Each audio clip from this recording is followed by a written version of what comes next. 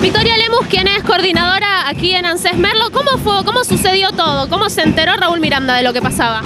Vino un superior a entrevistarse con él y a decirle que si bien eh, su gestión era impecable eh, y que no era una de las mejores UDAI del país, eh, estando hace más de un año entre los primeros puestos del país de atención de público de la cantidad de gente que atendemos, pero que eh, iba a dejar de ser jefe porque era necesario poner en su lugar una persona que responda políticamente. ¿Cómo lo tomaron los compañeros de trabajo de él?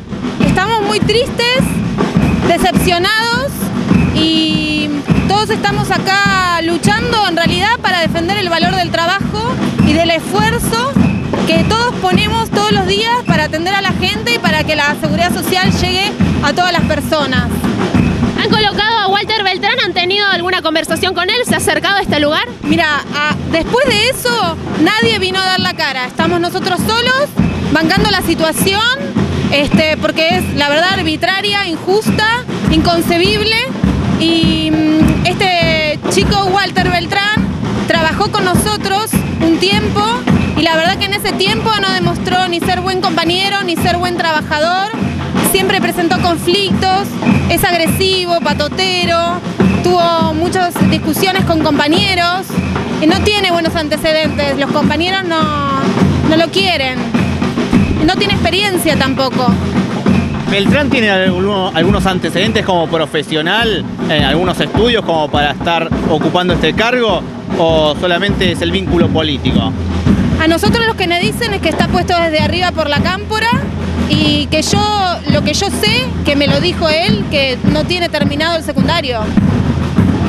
Yo soy contadora, hace 10 años que trabajo en esta delegación. ¿Siempre tuvieron empleados que tengan algo que ver con la política? ¿Cada uno de los que está acá milita o es la primera vez que sucede? Nosotros acá todos los días nos sentamos a hacer nuestro trabajo, que es ocupar nuestro puesto y llamar a las personas en el orden que va llegando y atenderlas uno a uno y tratar de resolverle los problemas. A eso nos dedicamos desde que estamos acá. Y eso es lo que le- les enseñamos los jefes a los compañeros, que ah, pueden tener todas las ideologías, pero acá la, la forma eh, de trabajar es sentarse y atender a la gente. ¿Hasta cuándo van a estar cortando? Mira, por ahora es indefinido porque la verdad que como nadie se presentó a dar la cara, eh, tenemos un plan de lucha de seguir así hasta que tengamos una respuesta y escuchar lo que nos tengan para decir, los fundamentos que tengan para tomar estas decisiones tan arbitrarias e injustas. Entonces confirmamos hasta el momento nadie se acercó. Ninguna autoridad, solamente esa conversación informal con el jefe regional, pero después no se acercó ni un nuevo jefe ni una autoridad del ANSES, ninguna, ni siquiera llamaron por teléfono.